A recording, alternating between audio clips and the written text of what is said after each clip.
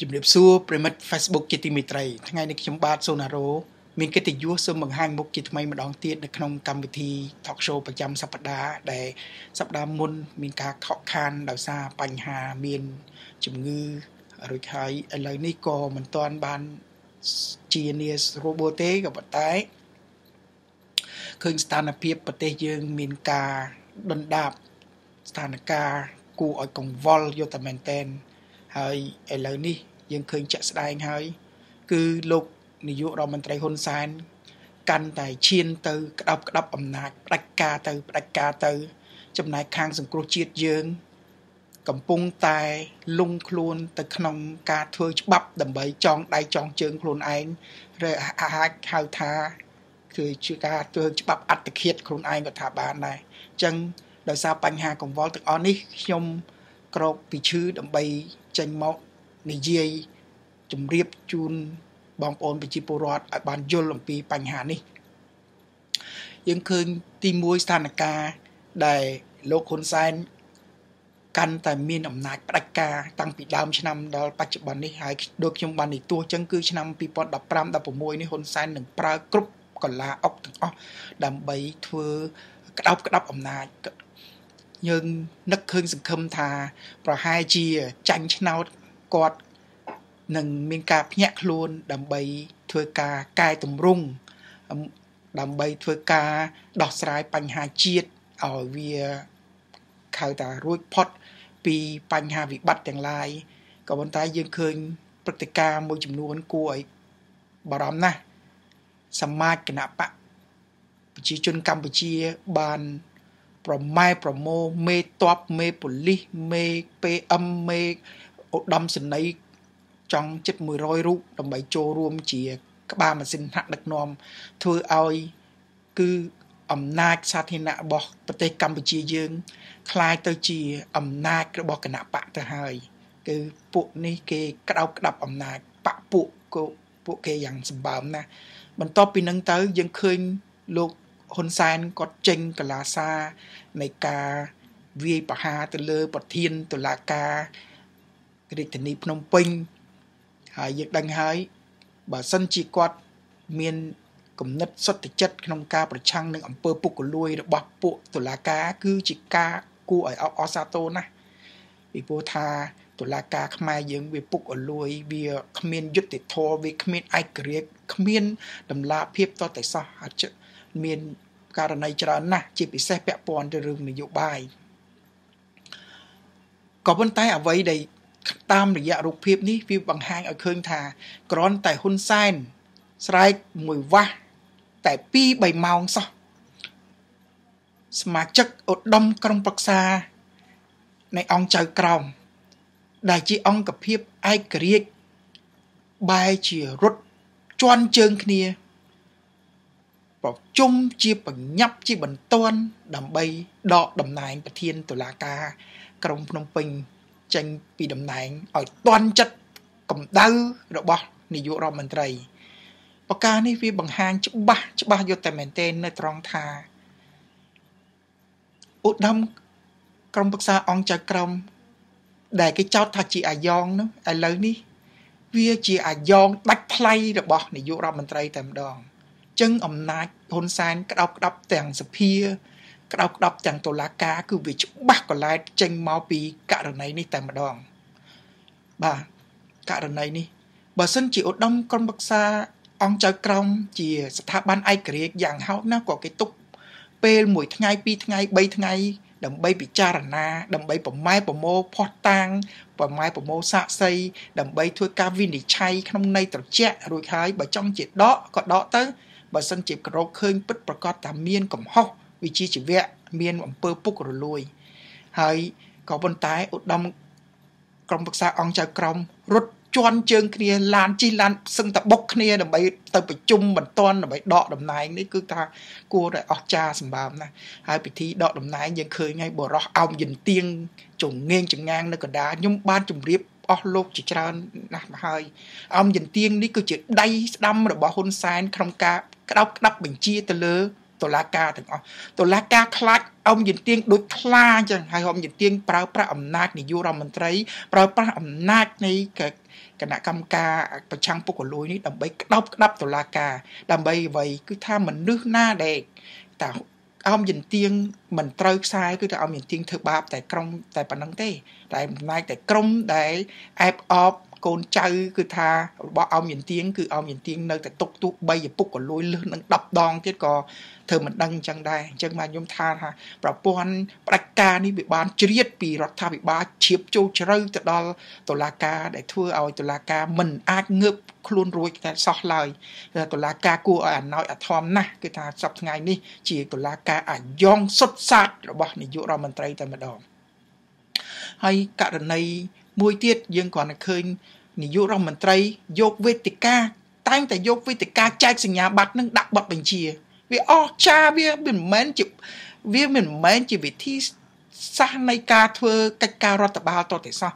លើកមុនពិធីចែកសញ្ញាបត្រដូចជាប្រកាសដកប្រធានតុលាការបន្ទាប់មកក្រុមពិធីចែកសញ្ញាបត្រទៀតបញ្ជាឲ្យបណ្ដេញលោកអាឡិច បញ្ជាមិនទាន់ផុតពីមាត់ផងគឺថាប៉ូលីសរត់ជន់ជើងគ្នាទៅតាមរោគចាប់លោកអាឡិចរហើយរោចហើយចាប់បញ្ជូនជីមិនតន់តន់ហន់ទៅក្រៅប្រទេសដល់យកលេសថានៅល្មើសច្បាប់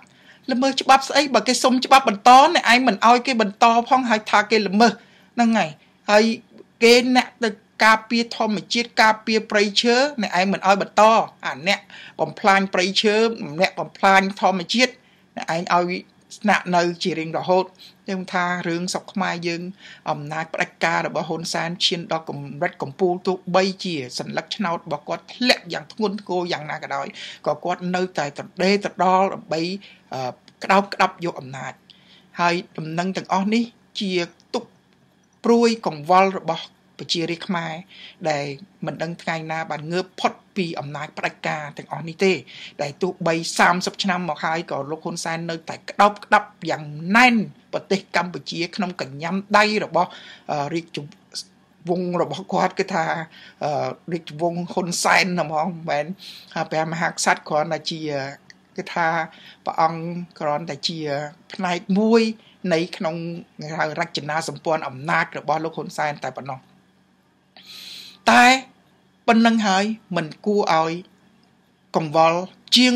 បញ្ហារឿងកាយច្បាប់គោលជបកាយច្បាប់ការបោះឆ្នោតនេះទេ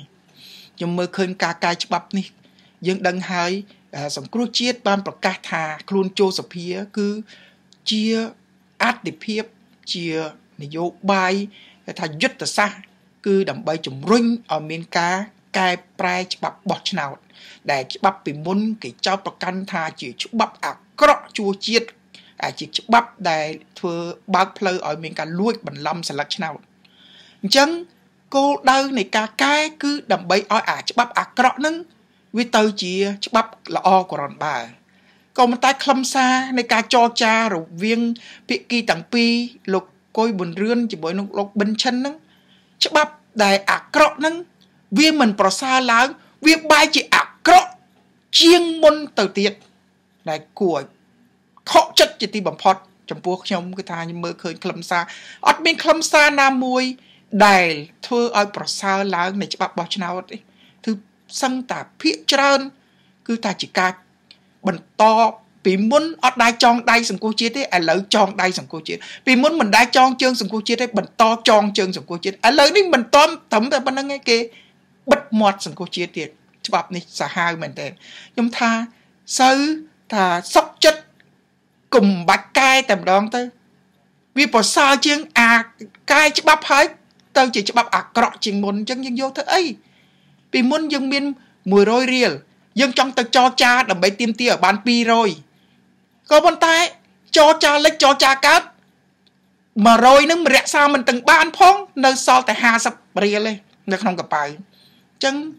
ការចរចានេះចាញ់ក្បួនចាញ់ខ្នាតយើងដឹងហើយជាមួយគណៈបកប្រជាជនកម្ពុជា ការចរចាត្រូវតែមានបទពិសោធន៍ត្រូវតែមានគោលការណ៍ច្បាស់លាស់ណាគាត់ចង់ធ្វើអីមួយគាត់ដាក់មួយដល់ខ្ពស់ហើយរួចហើយឧទាហរណ៍ថាអាក្រក់នៅត្រង់ណាអញ្ចឹងយើងនិយាយចំណុចឲ្យចំចំតែម្ដងចុះពីមុនអាចឃោសនាបោះឆ្នោតបាន30ថ្ងៃពេញហើយហែទាំង30ថ្ងៃ គណៈបកប្រឆាំងកាន់តែហែកាន់តែធំកាន់តែខ្លាំងបាទហើយយើងដឹងស្រាប់ហើយគណៈបកប្រជាជនកម្ពុជារបស់លោកហ៊ុនសែនក៏អត់ចាំបាច់ហែច្រើនទេពីព្រោះ5ឆ្នាំគាត់ឃោសនាគ្រប់គ្រាន់ហើយតាមវិទ្យុទូរទស្សន៍គ្រប់បែបយ៉ាងរបស់គាត់ក្នុងរង្វង់5ឆ្នាំគណៈបកសង្គមជាតិឬក៏គណៈបកប្រឆាំងមានឱកាសឃោសនាច្រើន តែពេលឃោសនានឹងឯងហើយបាន30ថ្ងៃហែទៅកាន់តែកម្លាំងកាន់តែកើនឥឡូវនេះពី30ថ្ងៃ គាត់កាត់ជ្រឹបមក21ថ្ងៃកាត់អស់9ថ្ងៃហើយគួរអាណោយអាធំគណៈបកសង្គមជាតិមិនទៀមទារក្សាដដែលទេថាទៅកាត់ត្រឹម25ថ្ងៃបានហើយបានហើយចាញ់បោកគេមួយបាត់ទៅហើយ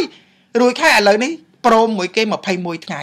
ហើយ21ថ្ងៃអនុញ្ញាតឲ្យហែតែ4ថ្ងៃទេ4ថ្ងៃហែទេគេហៅពីនឹងអង្គុយប្រជុំនៅកន្លែងហើយបើសិនជាហ៊ានលើសតែបន្តិចគឺតែគេផាកគឺវិន័យគប់បែបយ៉ាងទាំងអស់នេះគឺជាការមិន មិនត្រឹមតែមិនបើកទូលាយសេរីភាពទេ កាន់តែបិទខិតសេរីភាពរឹតបិទបិទខ្ទប់សេរីភាពតែម្ដងអានឹងចំណុចទី1ចំណុចទី2អំពីការចុះឈ្មោះចុះឈ្មោះពីដើម គឺគណៈកម្មការរៀបចំការបោះឆ្នោតធ្វើប្រតិពូកម្មទៅឲ្យក្រុមប្រឹក្សាឃុំសង្កាត់មេឃុំក្នុងការចុះឈ្មោះបោះឆ្នោតហើយបច្ចុប្បន្ននេះភាកច្រើន CPP ឈ្នះហ្នឹងក៏ដោយសារតែក្រុមប្រឹក្សាឃុំនិងមេឃុំរបស់របស់ពួកគេ ប៉ុន្តែសង្គ្រោះជាតិមានសង្ឃឹមថា ឆ្នាំ2017នេះបន្ទាប់ពីឈ្នះឆ្នោតភូមិឃុំយ៉ាងភ្លុកទឹកភ្លុកដីនោះគឺមេឃុំនិងក្រុមប្រឹក្សាឃុំរបស់គណៈបកសង្គ្រោះជាតិទាំងអស់អញ្ចឹងក្រុមប្រឹក្សានេះនឹងចុះឈ្មោះបោះឆ្នោតនឹងធ្វើឲ្យមានការប្រម៉ែប្រមោអ្នកបោះឆ្នោតទាំងអស់ដែលគ្រប់គ្រងគណៈបកសង្គ្រោះជាតិមកចុះបុកជួបបោះឆ្នោតទុយទៅវិញពួក CPP គេបានឃើញចំណុចនេះ គេបែរជាទាញ ការចុះឈ្មោះបោះឆ្នោតនេះទៅឲ្យស្មៀនឃុំជាអ្នកធ្វើទៅវិញយើងដឹងស្រាប់ហើយនៅតាមឃុំនីមួយៗស្មៀនឃុំគឺអ្នកណាស្មៀនឃុំគឺសមាជិកគណៈបកប្រជាជនកម្ពុជា ដែលតែងតាំងដោយក្រសួងមហាផ្ទៃអញ្ចឹងហើយស្មៀនឃុំដែលអ្នកចុះឈ្មោះបោះឆ្នោតនេះយើងដឹងស្រាប់ហើយបើខាងគណៈបកប្រជាជនគេមិនដែលចង់ចុះឈ្មោះឲ្យអ្នកគ្រប់គ្រងខាងសង្គមជាតិទេហើយបញ្ជីអ្នកគ្រប់គ្រងសង្គមជាតិនៅតាមភូមិឃុំទាំងអស់គេដឹងអស់ហើយព្រោះយើងបានបង្ហាញមុខអស់ហើយអញ្ចឹងហើយគេនឹងបង្កឧបសគ្គគ្រប់បែបយ៉ាងរួចហើយបញ្ហាមន្ត្រីតុលាការបញ្ហាមន្ត្រីកងកម្លាំងបង្អាប់អាវុធមិនឲ្យចូលរួមក្នុងការគណៈបកនយោបាយឬក៏ការកោសនាបោះឆ្នោតក៏អត់បានសម្រេចអីទាំងអស់នៅតែរក្សាដដែលនិយាយរួមចំណុចណាចំណេញឲ្យគណៈបកប្រជាជនកម្ពុជា រក្សាបានដដែលទាំងអស់វាបែរជាកែតែចំណុចណាដែលខាតឲ្យគណៈបកសង្គមជាតិ ចងដៃចងជើងឧទាហរណ៍ថាឥឡូវនេះគេហាមមិនឲ្យការមានការប្រមាថពាក្យប្រមាថមិនដឹងជាយ៉ាងម៉េចថាប្រាប់ពាក្យប្រមាថអាចបកស្រាយគ្រប់យ៉ាងទាំងអស់រួចហើយមិនឲ្យនិយាយប៉ះពាល់ដល់បេក្ខជនអីណាគេនឹងផ្ដន់ទៀតទោសផាកពិន័យផងអាចឈានទៅដល់ដាក់ទោសព្រមមិនតាន់ទៀតហើយចំណែកខាងសង្គមជាតិមិនដែលទៀមទាថាឲ្យផាកពិន័យនេះពួកដែលចេញឯកសារអត្តសញ្ញាណคล้ายคล้าย ឬក៏ដាក់ពិន័យដាក់ទោសដល់ធ្ងន់ធ្ងរចំពោះជនណាដែលប្រើប្រាស់មធ្យោបាយរបស់រដ្ឋឬក៏បញ្ហាដែលប្រើប្រាស់គេថាកម្លាំងប្រដាប់អាវុធដែលលំអៀងនៅក្នុងយុទ្ធនាការឃោសនាបោះឆ្នោតអីយើងអត់មានទៀមទីឲ្យគេអញ្ចឹងទេហើយភាកច្រើនគឺថាការចរចានេះបែរជាគេដាក់លក្ខខណ្ឌរឹតបិទចងដៃចងជើងខាងពិគីសង្គមជាតិចំណុចមួយទៀត គឺគេប្រុងដាក់ច្បាប់មួយដែលនិយាយថា បើគណៈបកណាហាមឃាត់អ្នកបោះឆ្នោតនឹងត្រូវរំលាយចោលទៀតចំណុចនេះធ្ងន់ធ្ងរណាពីព្រោះកន្លងមកបោះឆ្នោតឆ្នាំ2013យើងឃើញហើយប្រជាពលរដ្ឋខ្មែរភាគច្រើនបានចេញមករាំងខ្ទប់មិនអោយគេហៅថាជនបរទេស ដែលមិនមានសិទ្ធិបោះឆ្នោតនឹងចូលរួមបន្លំនៃការបោះឆ្នោតអញ្ចឹងបើចំណុច មេត្រានេះចេញមកយើងអាចទៅរាំងខ្ទប់ប៉ុន្តែយើងច្រឡំនៃការរាំងខ្ទប់ក្នុងនឹងមានជនបរទេសខ្លះក្នុងនឹងមានអ្នកខ្លះយើងក៏ច្រឡំថាជាជនបរទេសរួចហើយគេយកលេសនឹងថាយើងនឹងរាំងខ្ទប់ជនដែលមានសិទ្ធិបោះឆ្នោតរួចហើយគេរំលាយគណៈបកសង្គមជាតិចោលទោះបីគណៈបកនេះឈ្នះឆ្នោតឬយ៉ាងម៉េចហើយចំណុចច្រើនទៀតដែលហ៊ុនសែនប៉ុនប៉ងធ្វើគឺថាក្រោយបោះឆ្នោត បើយើងមិនពេញចិត្តយើងមិនចូលប្រជុំសភាបានប៉ុន្តែឥឡូវនេះគេគេដាក់លក្ខខណ្ឌថាប្រសិនជាព្រះមហាក្សត្រកោះហៅហើយមិនចូលប្រជុំសភាក៏អីសភានឹងនឹងត្រូវយកទៅចែកទៅឲ្យគណៈបកដតីទៀតចឹងសុកចិត្តអត់ធ្វើច្បាប់ប្រសើរជាង បើធ្វើច្បាប់ដូចសប្តាហ៍នេះលក្ខខណ្ឌរហូតលក្ខខណ្ឌចងតែដៃចងតែជើងហើយបិទមាត់សង្គ្រោះជាតិមិនឲ្យនិយាយឃោសនា បើឃោសនានិយាយប៉ះពាល់នឹងផាកពិន័យហើយផាកធ្ងន់ធ្ងរទៀតហើយមិនត្រឹមតែផាកប៉ុណ្្នឹងទេឈានទៅដល់ផាកដល់អង្គការសង្គមស៊ីវិលអង្គការ NGO នានា ដែលគេចេញឧទាហរណ៍គេចេញរបាយការណ៍ទស្សនៈទាំងឡាយណា ដែល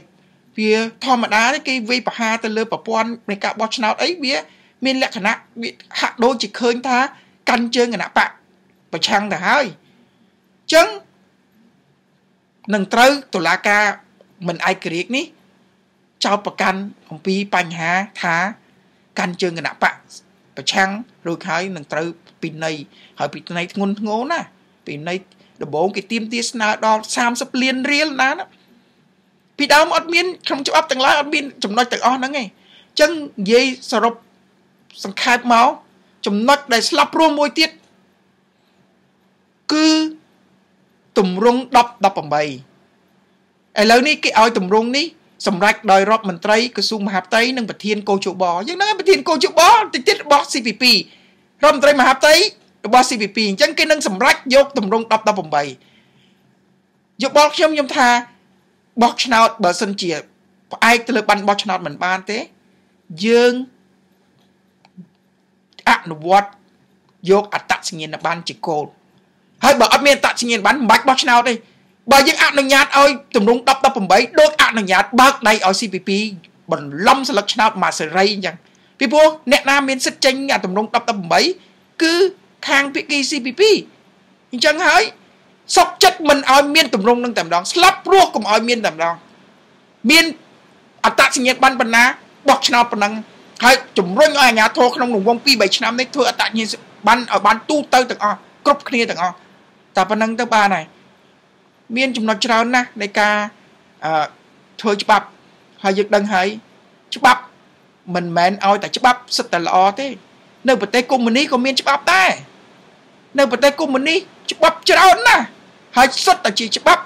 រាំងខ្ទប់សេរីភាពអញ្ចឹងហើយគុំ